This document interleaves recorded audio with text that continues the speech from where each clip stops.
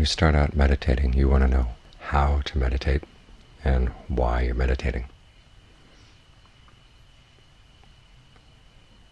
The how is pretty simple.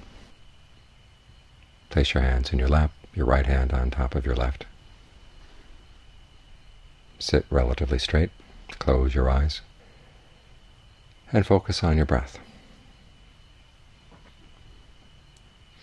Wherever in the body you have a sensation lets you know that now the breath is coming in, now the breath is going out, focus on that part of the body. It can be around the nose, it can be in the rise and fall of the chest or the abdomen. Choose a spot where you feel comfortable. And let the breath be comfortable as well. Try not to force it too much. Let it come in and go out at a, at a rhythm that feels good. You might want to start out with a couple of good long, deep in and out breaths. And then let it find the rhythm that feels right.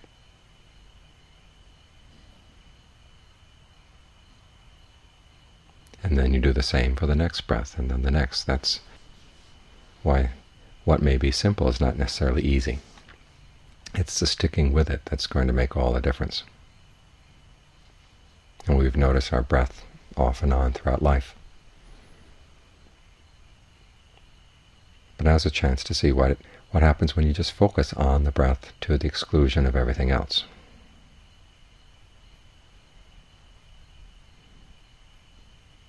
Other thoughts may come into the mind, but you have to learn how not to pay any attention to them. Think of them as people passing by. You don't have to identify with a thought to think that it's your thought or something that you have to look into.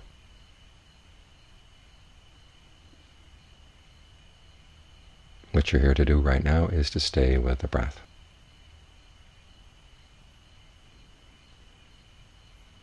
If you have trouble staying with it, you might want to use a meditation word to go along with it. You might think in with the in-breath and out with the out.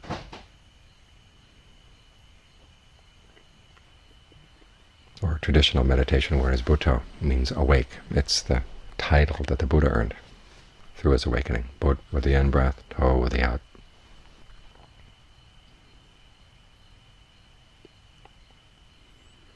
And if you wander off, bring the mind back to the breath. If you wander off again, bring it back again.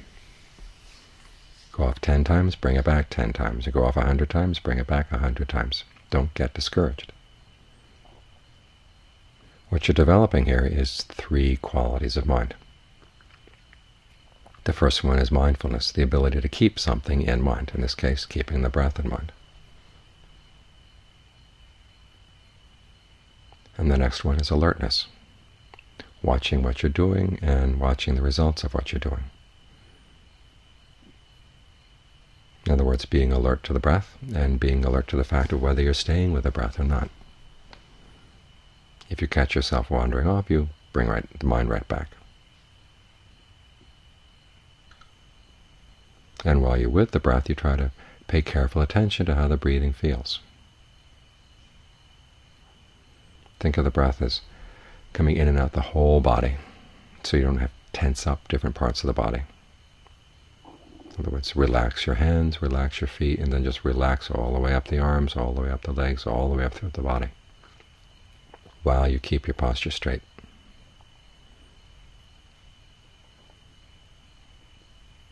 Because you find if there's a lot of tension in the body, you're not going to want to stay in the present moment because it's uncomfortable, and the mind tends to run away from anything that's uncomfortable. So if you think of the breath coming in and out of the whole body, allows the whole body to relax.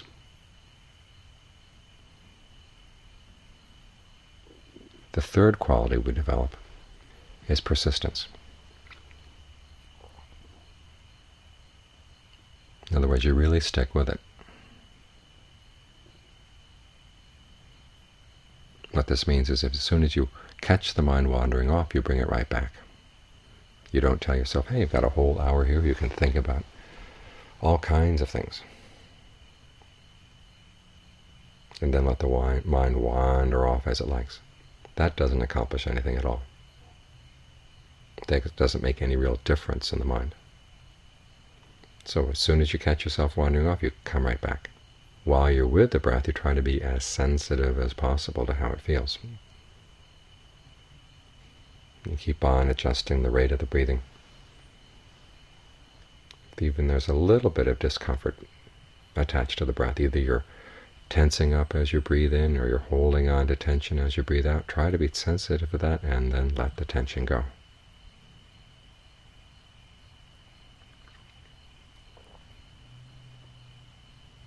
So those are the three qualities we're trying to develop, mindfulness, alertness, and persistence.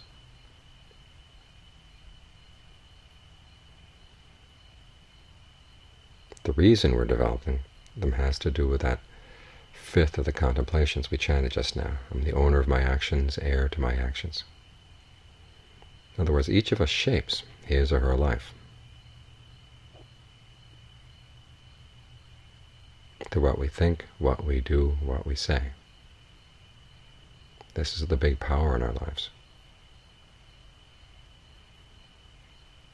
And so it only makes sense that you want to do things skillfully. You want to think and act and speak in ways that actually bring about happiness rather than bringing about pain and suffering. And yet you look at the way people behave throughout the world, and there's a lot of pain and suffering going on.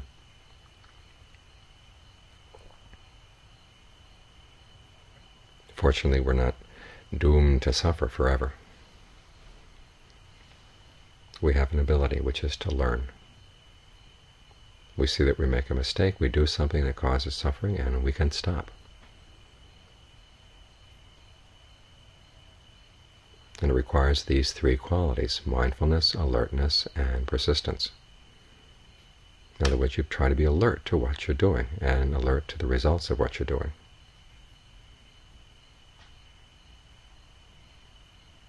If you see that there's a way of acting or thinking or speaking that causes stress or suffering, you can decide not to do that.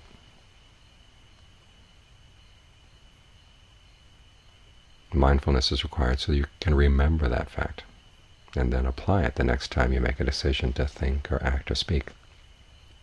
And persistence is the quality that allows you, one, to see the connections between what you do and the results of what you do, because sometimes the results are immediate and sometimes they take place over time. If you forgot what you did, it's hard to make the connection. Once you notice the connection, then mindfulness is useful so you can remember it the next time you decide to think or act or speak in the same way. These are all really basic mental skills. The ability to keep something in mind, the ability to watch what you're doing, and then the ability to stick with something that you know is going to help you. Because they're so basic, we tend to overlook them. Yet anything you do in life requires these mental qualities. So here's an opportunity to develop them. It's like realizing that you've got a job to do and yet you're too weak to do it, so you go down to the gym and you exercise to build up your strength. And the meditation is just that. It's building up strength for the mind. Your strength of mindfulness, your strength of your alertness, and the strength of your persistence.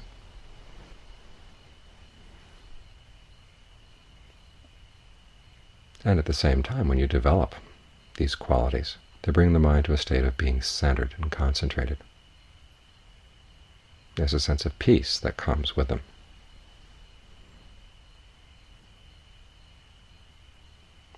As you find yourself able to stay with the breath for longer and longer periods of time, the mind doesn't have to keep jumping around the way it normally does.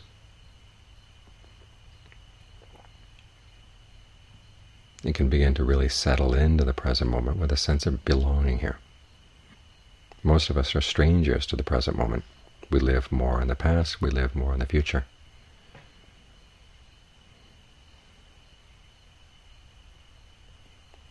Hardly visit the present moment at all. It's like a little kid who comes home and grabs a sandwich and then runs out.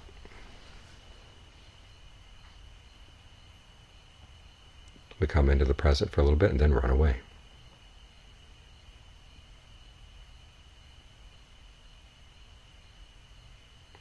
And as a result, we don't know anything about our minds because all the decisions about what we're going to do and say and think are made here in the present moment. And because we don't stay here, we don't understand what's going on.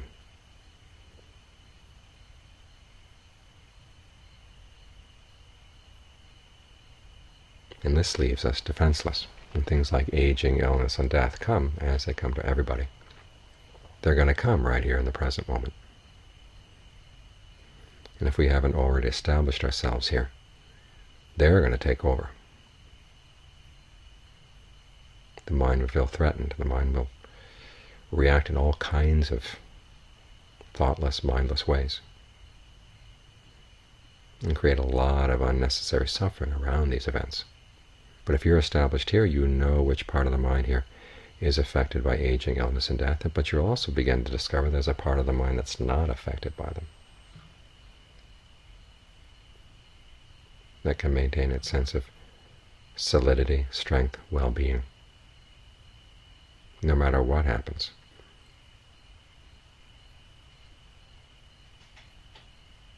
That's one of the skills you can develop through the meditation, is finding that part of the mind staying there,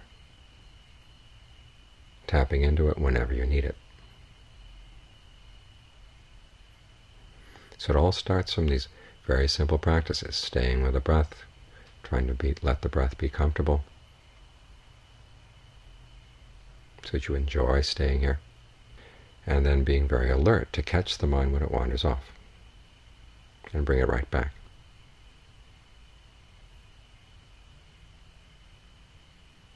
It's a simple exercise, but it develops some, some very essential skills in the mind.